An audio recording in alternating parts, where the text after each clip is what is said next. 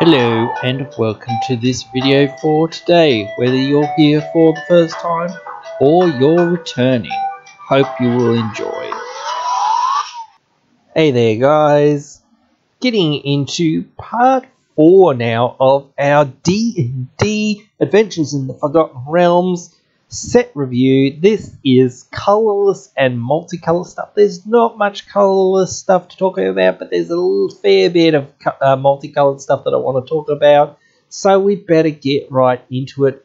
Uh, first off is Hand Vecna and Eye Vecna. I want to talk about these uh, together basically because I think they really need to go together for the most part. I'm going to talk and say what I think about each one more individually, but I'm going to have them both up here in the same slot, essentially. So, Eye Vecna, 2 mana enchantment, a legendary enchantment. When it enters the battlefield, you draw a card, you lose 2 life. You know, again, I don't think that it's exclusively that you absolutely have to play this in the Vecna deck, but I think you really want to play it in the Vecna deck, but maybe there's some like mono white decks that might want this uh, artifact does draw you cards, especially like the new Oswald. He might want this, uh, but at the beginning of your upkeep, you may pay two mana if you do this two life. So again, just it's fairly good, and it can offer those decks that do struggle with card draw and card advantage. Some card draw and card advantage, you do have to lose two life but that is a very small downside. Maybe some colorless decks even want this just because it helps you uh, draw more cards and there's not that many. It for free value for the most part. It is when it enters, so maybe there's some ways that you can flicker it and whatnot, but for the most part, I think just that free one uh, when you first play it is pretty good for the most. Draw one for two, not great, but still it is colors, so it's just fine. And then the beginning of your draw uh, upkeep, you can pay two mana to draw a card. Isn't too bad. Like it's bad for Phyrexian Arena, but again, in the colors that struggle with card draw, I think it's just fine. So yeah, I think you know again, along with Hand of Vecna, you can see play. Uh, and Hand of Vecna is three mana equipment uh, legendary artifact. At the beginning of your combat on your turn, creep creature get uh, or creature you control named Vecna gets plus X plus X until end of turn, where X is the number of cards in your hand, and you can equip for two or equip with paying one life for each card in your hand. So the creature can get quite big. Again, the Eye of Vecna can help you draw more cards and whatnot. Um, you know, Book of Vile Darkness that we were talking about in our section. You know, when you lose life, you make a 2-2 and whatnot. So those are all good effects for the most part, you know. So, you know, you do have to choose between the creature that's equipped to or Vecna. Um, you know, so, but if it's equipped to Vecna, it's, of course, like, I don't know how you could equip it to Vecna, but maybe you could, like, in Standard or Modern or Pioneer or whatever. But again, like if there were ways, there might be ways that can do it. You can put things from your exile into your graveyard, so then if you can return Hand of Vecna somehow, you might be able to equip the Hand of Vecna onto Vecna, and then you basically to get two Hand of Vecna effects um, in that way because you've got a quote unquote Hand of Vecna effect on the token, and then you've got another copy of Hand of Vecna that's equipped to it or that's on the battlefield. So, yeah, you get two effects off of that. Maybe some equipment decks, you know, maybe would want it. Again, some utility to say that it just doesn't go in with the other things, but I really think you would want to run them all together to get the maximum effect out of it. So certainly there are some mono white or Boros decks or Lorehold or whatever red white decks that might want it, Mardu decks again that might want it, like that are equipment based. But again, I would think that they all want to go together for the most part. I still think that they're quite interesting and could see some play in uh, certain decks as well. But yeah, I certainly think that you want to care about equipment with that one, but you want to care about just generic free like value for the most part with the first one there, uh, Vecna.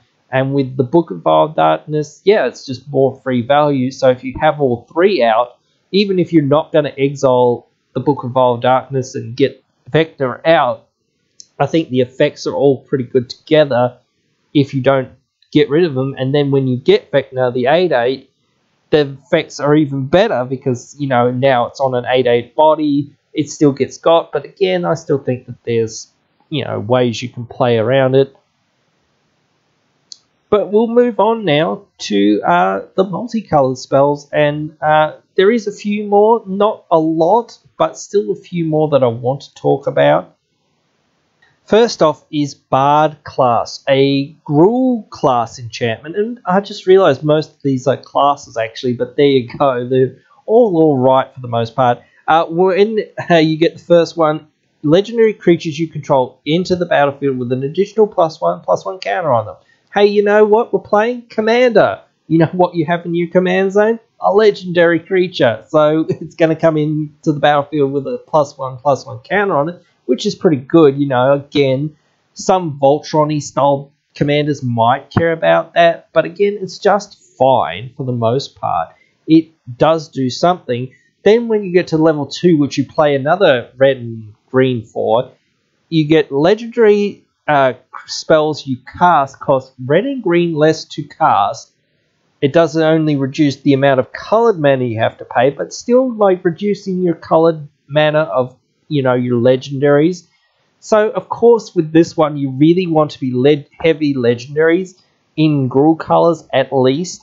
And there are some, you know, Gruul legend decks or, you know, four color, three color, five color, certainly legend decks um, that this could go in. So I think that that reducing cost can be quite good. Then when you get to level three, which is three and uh, red and green, whenever you cast a legendary spell, you exile the top two cards of your library and you may play them this turn. So it's essentially quote unquote draw two, um, but you can only play them this turn. So that's pretty good too. All these effects are just fine. Like the first one isn't the best, but it's okay again.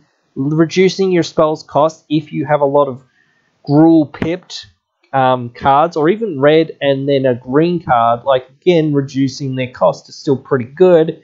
So that's all right. If you have other reducing effects, it's good too. Um, you know, you can suddenly cast like the double WUBRG, double uh, WUBRG, WUBRG commander or whatnot.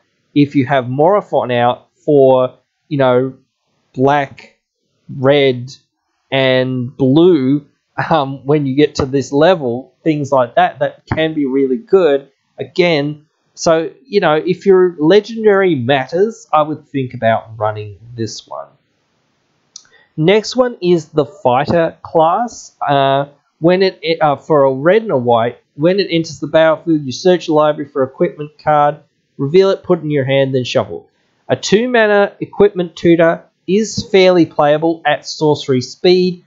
You know, even like a three mana tutor is somewhat playable in uh, some of these decks, but then you get all of this other upside, which is really good.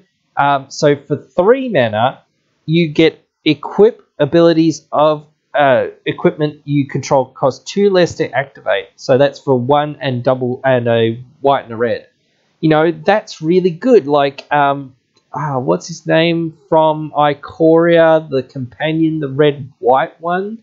I can't remember his name, but he basically does a very similar effect to this where you reduce ability costs. Um, you know, so uh, you know that does get your equipment down. A lot of the equipment that you would want to equip for three is now equipped for one. Uh, a lot of the equips that you want to equip for two are now equipped for zero, which is really good. And even some of the ones that are equipped for one are now zero, which is really good. And then the third one for three and a red and a white. Whenever a creature you control attacks, up, up to one target creature blocks it this combat if able. So, you know, that's weird removal, maybe, kind of, um, to a degree. Um, so that can be okay. But I think the first two things on this one are where it's at. You want that last one if you really, really need it. But again, just like the first two things are worth it. So I would think that if you're in a red and white deck um, or some variant of red and white decks that care about equipment, that you would want to think about running this, even if the third thing isn't that great. Just the first two things are really quite good, and if you get to the third thing, you get some weird like removal, so that's okay as well. It eventually will get to the point where it's like, oh yeah, sure, I'll I'll pay for that, and I'll want to kill this this thing that my opponent has because I don't want them to undap with it. Next, skeletal swarming. Uh, three and black green. So enchantment, each skeleton you control has trample and attacks each combat if able. It gets plus X plus O, where X is the number of other skeletons you control. At the beginning of your end step, you create a 1 1 uh, tapped 1 1 skeleton. If a creature died this turn, create two of those tokens instead. You know, strictly a skeleton tribal card uh, for the most part. You know, Skeleton Tribal probably would take it as well because there's not that many great Skeleton Tribal cards. But there's not none. This is an okay one. Again, we're talking about another Skeleton card in our black section.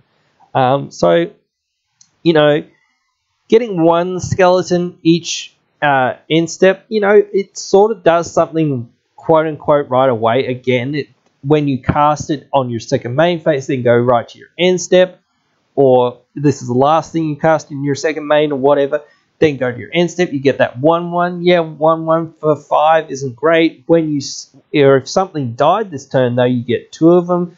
So two 1 1s for 5, still not great. But again, it keeps scaling up. Yeah, sure, they have to attack, you know, each combat. But if they die, you get two more. So it just sort of keeps refueling itself. So it doesn't really matter that they die and you're going to have other effects in this deck that sort of care about you know things dying or going to the graveyard or recursion and whatnot so that then you can actually like take advantage of like things dying or you cr- just creating this free fodder essentially so i think it's quite good in some of those decks maybe it could see play in some other decks that really want to be aristocratic and you can just take advantage of the bodies. But mostly, I think you want to be skeleton tribal for the most part.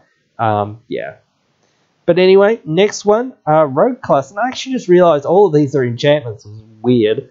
Um, anyway, Dimir enchantment, so blue and a black. Uh, first thing you get whenever a creature you control deals combat damage to a player, exile the top card of that player's library face down. You may look at the card for as long as it remains exiled. You know, that's just okay. It's just fine. Kind of milling them in a way. Then for three, creatures you control have menace. Just fine as well. Not amazing, but just fine. You know, again, like if you're in an invasive deck, just fine. For but third level, for two and blue black, uh, you may play cards exile with Rogue's class, and you may spend mana as though it were mana of any color to cast those spells. Now, this is where I think this uh, card becomes good. Sure, exiling cards from opponent's library, yeah, that's okay if you're on that mill plan, maybe. If you've got evasive creatures again, you can make your creatures more evasive, uh, whatnot, that sort of thing. So, yeah, those two things are okay, but not great. But once you can get to play people's cards, that's where I think, again, it's at. If you're in a deck that wants to seal people's stuff and you have a few evasive creatures, getting free value out of something like this is quite good. And I think you would think about running it in some of those decks that do care about, like, stealing opponents' stuff and whatnot. So, yeah, I would definitely consider this in some of those decks. Next one. And uh, and this one's actually the last one. Sorcerer class. This is an Izzet one, so a blue and a red. When it enters the battlefield, you draw two cards, then discard two cards. You know, that looting effect, that's just fine. Not amazing, but for two mana, you get rid of your two worst cards and you get two, you know, cards from your deck. You know, if you know what's in the top of your deck, it can help out a little bit as well so that's okay. For two more Izzet mana, or for blue and a green, you get to level two. Creatures you control have tap to add a blue or a red. Spend this mana only to cast instant or sorceries or gain another class level.